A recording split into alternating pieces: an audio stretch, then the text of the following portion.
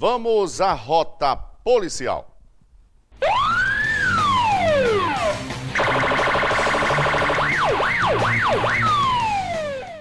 Um desentendimento levou uma jovem de 19 anos a cometer um crime na madrugada desta quarta-feira no bairro do Getate. A vítima era namorado da mãe dela.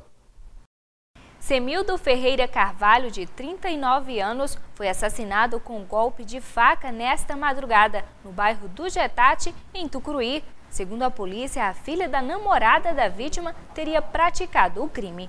Segundo informações, esse indivíduo é, estava lá com som, é, escutando música próximo da residência dessa senhora. Ela se sentiu incomodada, pediu para que ele saísse do local. Ele havia se recusado, então ela pegou uma faca e desferiu né, um golpe nas suas costas.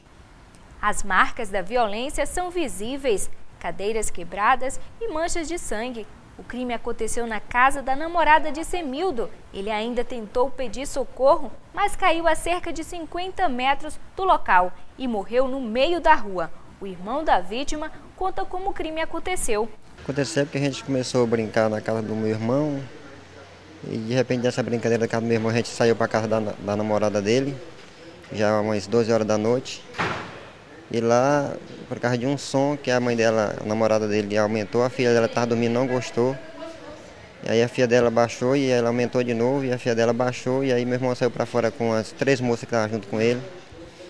Aí eu estava deitado no rede no, quarto lá e quando eu dei de ferro já tinha já estava acontecendo o ato. Eles se pegaram brigando os dois, aí ele virou as costas, ela foi lá dentro, pegou uma faca e deu uma facada nas costas dele. Aliás, duas facadas.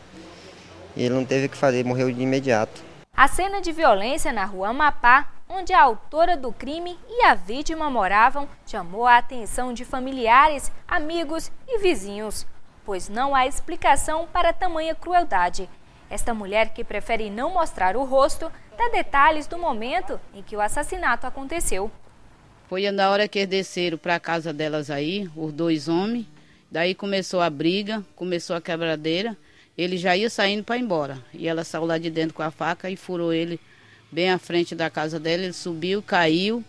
Aí o irmão foi lá para cima e disse que ele estava desmaiado. Aí a outra mulher chegou e falou, ele está morto. Aí a mãe voltou para dentro, se acabou com a minha vida, acabou com a minha vida, acabou com tudo. Ela falou, mata até você, que eu estou pronta para matar quem entrar aqui. Aí foi na hora que meu vizinho da outra rua chegou, conseguiu pegar ela e amarrar, e a polícia chegou. Aí foi, pegou ela e carregou, e ela xingando os policiais, arrebentando, dando soco nos policiais e carregou. Para esta moradora, a violência é motivo de preocupação. Fico preocupada porque minha filha mora aqui do lado. Eu deixo minha casa lá e venho dormir aqui com minha filha porque já fazia dia que eu via qualquer hora, qualquer instante acontecer essa tragédia aqui. Porque faz tanto elas ter matado como elas mataram um homem, ou elas mesmas se matar.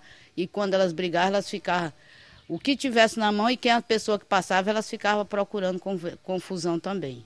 Denise Viana Freitas está presa na 15ª Seccional Urbana de Polícia Civil de Tucuruí, à disposição da Justiça. Ela deverá responder por homicídio qualificado por motivo fútil. A pena varia de 15 a 30 anos de prisão. A partir da constatação de todos os indícios né, contra a mesma, todas as provas contundentes pela motivação banal, vai ser autuada por homicídio qualificado e ficará à disposição da polícia, da justiça.